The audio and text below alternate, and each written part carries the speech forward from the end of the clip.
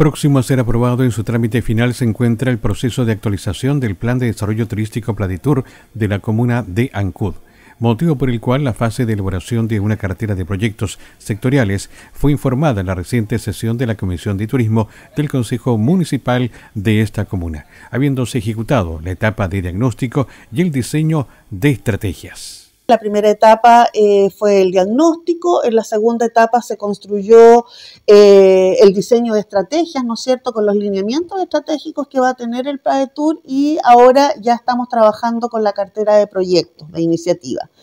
Eh, en esta cartera de proyectos, que para mí es lo más importante, porque es la forma en que vamos a ver que se concretiza el programa de desarrollo turístico, el plan de desarrollo turístico, son 65 iniciativas que corresponden a siete lineamientos estratégicos distintos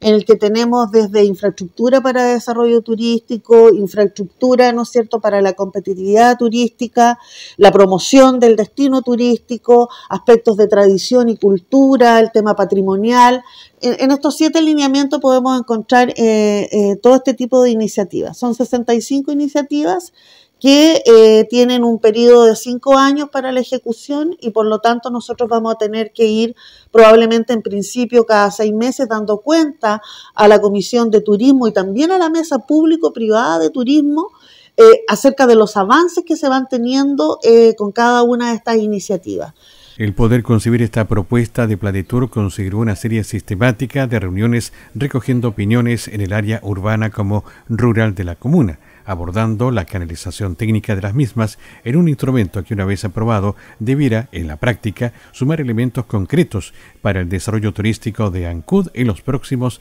cinco años. Hay un representante de la ATA, de la Asociación de Turismo Ancud, representante de la Cámara de Comercio, eh, participan distintos servicios también del municipio, seguridad pública, eh, han participado instituciones de, carabineros, por ejemplo, en las mesas.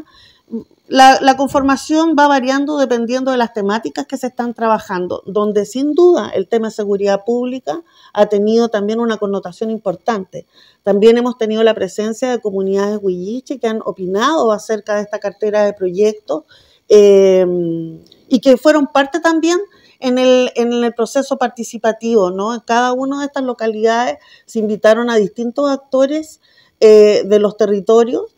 no solo gente que desarrolla turismo, sino que también gente de las comunidades, gente de las dirigentes de las organizaciones que estaban presentes en el territorio. De esta forma se espera que la propuesta del Pladituro sea sometida a consideración del Consejo Municipal en pleno en sus próximas sesiones, para de esta forma validar su ejecución.